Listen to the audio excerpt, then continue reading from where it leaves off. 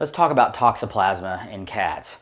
Um, toxoplasmosis is the disease that toxoplasma, um, the one-cell protozoan parasite, can cause in cats. Cats are a definitive host. It's the only definitive host of toxoplasma. And it will encyst in the brain and in muscles in cats very commonly and it can cause fever, confusion, stupor, uh, muscle pain, all sorts of, of, symptoms in cats. And so check with your veterinary clinic, they can give you more information associated with toxoplasmosis. The major concern with toxoplasmosis is coming um, from its zoonotic potential, meaning it can be uh, given to humans.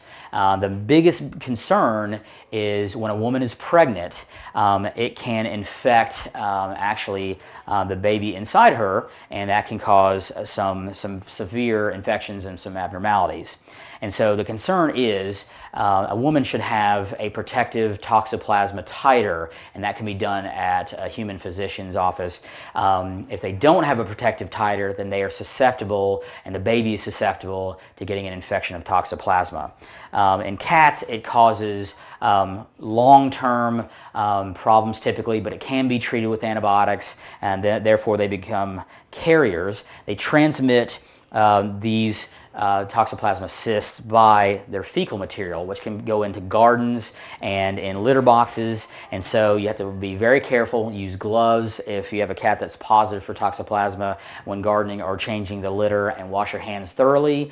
The most other common place is countertops and raw meats or undercooked meats are very commonly sources of infection of toxoplasma. But talk to your veterinary clinic, they can give you more information about that. Um, but it is a concern um, because of its zoonotic potential.